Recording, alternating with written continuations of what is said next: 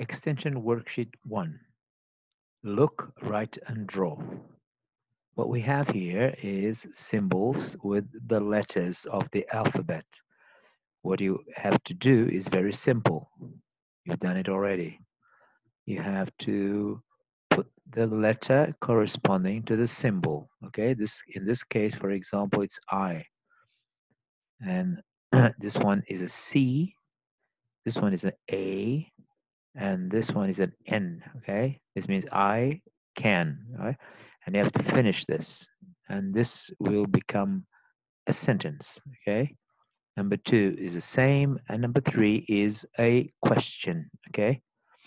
So I'm going to say this in Portuguese very easily.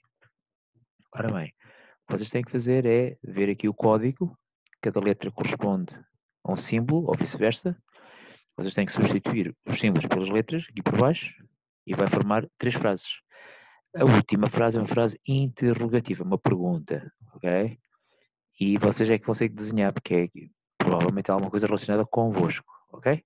É só isto, não tem nada de especial, é só fazer isto, ok? Bom trabalho, good work.